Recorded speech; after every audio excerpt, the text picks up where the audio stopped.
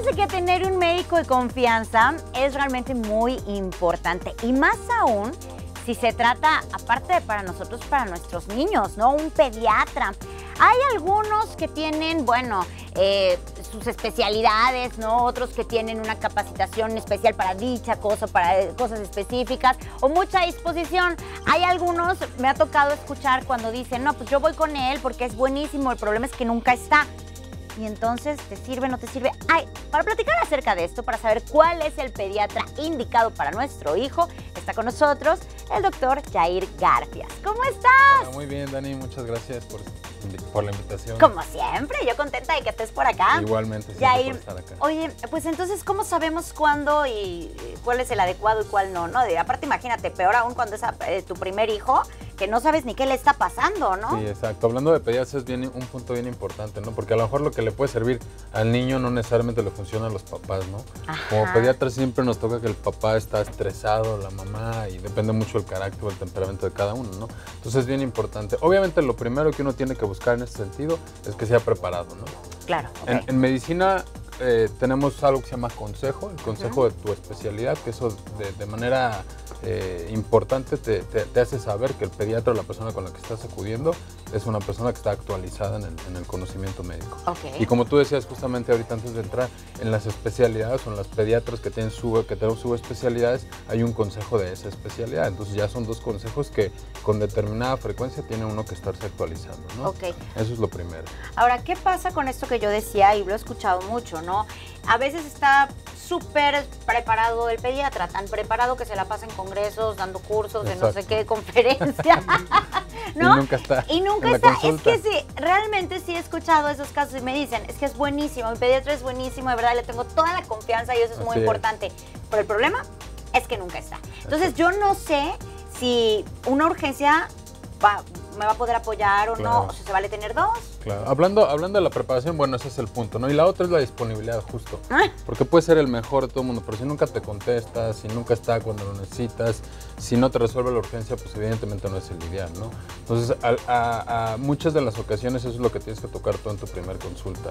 ¿Cuándo estás disponible? ¿Hasta qué punto es disponible? Porque hay pediatras o hay médicos urgenciólogos o, o incluso neurólogos que te dicen, yo atiendo de lunes a viernes, pero sábados y domingos no no contesto llamadas, no contesto mensajes, entonces evidentemente es un punto importante que tienes que tocar con el médico, ¿no? El mejor pediatra es el que tú te sientes confianza y el que te contesta. Y el que te contesta. ¿O se valdría tener dos o no es muy pues recomendable? Pues bueno, a lo mejor si tienes el mejor, el top acá, pero no te contesta, pues bueno, puedes presumir que vas con él, ¿no?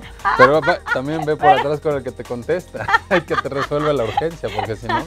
Sí, bueno, me refiero a que sí hay ocasiones en que te dicen, pues voy a estar de viaje, voy a estar de viaje, y tú dices, no, pues tengo acá mi, mi otra opción, ¿no? Ahora, tocaste ahorita otro punto que también es muy importante, es la confianza que sientes tú, ¿verdad? Porque como mamá o con, bueno, como papás, de repente, este, pues te pueden decir misa de que fulano es el bueno y es que sutano y curó a todos mis hijos han ido con él y ya sabes las recomendaciones familiares de amigos y todo. Y tú dices, sí, pero a mí me dio confianza por alguna razón este otro. Exacto el, primer contacto, ¿no? Eso es bien importante. ¿Cómo te trata? ¿Cómo te trata a ti como papá y, cómo trata a mi bebé, ¿no? Eso es bien importante como verlo. Y evidentemente que el conocimiento sea el adecuado y que te genere confianza, ¿no? Que te resuelva tus dudas, que te la resuelva y te la resuelva de la mejor manera y que te resuelva de la manera como tú lo estás esperando, ¿no? Porque a lo mejor la urgencia para ti es porque tiene tos y evidentemente al, al pediatra eso no es una verdadera urgencia, ¿no? Pero bueno, yo como papá siento que esa es mi urgencia y me la tienes que resolver. Entonces es bien importante. Es lo que también lo, que tiene que ver con esa pues disposición, ¿no? Claro, que tú dices, es que para mí es importante, doctor, señora, tranquilícese, no pasa nada, ¿no? y hay a quien le gusta, hay a quien hay a quien esa manera de ser también le funciona, que le como que la normalizan la situación, ¿no? Eh, pues lo que pasa es que te pone una realidad, ¿no? A lo mejor para ti la urgencia es la tos o la fiebre y el trabajo del pediatra a lo mejor no es quitarte la tos en ese momento, pero sí decirte, oye, tranquila, pues le vamos a dar esto y puede pasar determinado tiempo y se va a mejorar, ¿no? Y tampoco porque sea el mejor o que esté en el top mundial o en el top en donde sea, significa que te va a funcionar a ti. ¿no? Ahora, ya ahí los, los pediatras tienen cada, muchos, algunos son generales y otros tienen diferentes especialidades. Pero cuando tú acabas de tener a tu bebé, pues no sabes con cuál, o sea, tu bebé en teoría pues no tiene nada en ese momento, ¿no? Entonces, ¿cómo es que vas tú definiendo o el mismo doctor te va guiando? Te va diciendo, Bueno, mira, ahora ve con este que es especialista en eso. Eso es importante, siempre tener como una cabeza, ¿no? El pediatra es como el médico familiar que anteriormente manejaban mucho, ¿no? Es como el que tú vas y si te duele la garganta o si te duele la cabeza o si te duele la panza, él te puede orientar mucho hacia las diferentes subespecialidades, ¿no? Entonces, entre la medicina, conforme la medicina ha progresado, cada vez hay más especialidades. Entonces hay el- el, el del corazón y hay el de la piel y hay el de las alergias y hay el de los pulmones y hay el de la cabeza.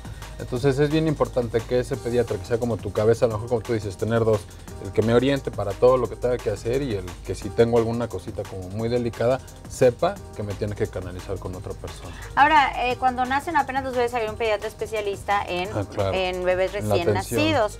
¿Y hasta qué tiempo es pertinente seguir yendo con el especialista en recién nacidos? Bueno, Luego se quedan ahí. Todo, lo que pasa es que son pediatras también, Ajá. lo que pasa es que hacen pediatría y luego hacen una especialidad en neonatología y neonatología quiere decir es el médico que tiene el pr- primer contacto al momento de nacer, que tiene como la mayor preparación. La verdad es que tampoco está escrito cuánto tiempo tienes que ir con el neonatólogo y después pasarte al pediatra. Si es pediatra y si está actualizado y te genera confianza, pues quédate con él. No ¿para qué le tiene, andas buscando, no pasa nada Así es, específicamente. O sea, así puede- es. puedes continuar con él y ya, en caso de que tuviera algo específico, ese mismo pediatra te puede decir, ¿sabes qué? Ahora sí te toca ir con este otro especialista Así por es. la situación específica que tiene tu hijo. Claro, ¿no? que sí, así es. Muy bien.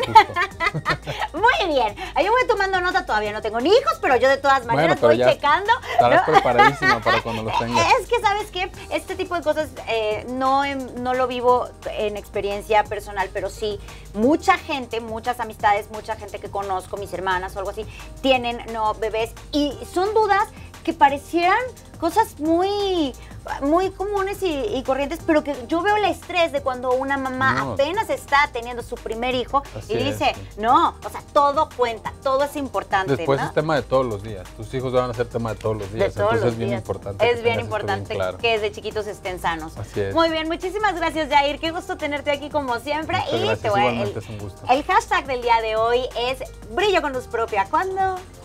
Cuando estoy con mi familia. Ay, eso es divino.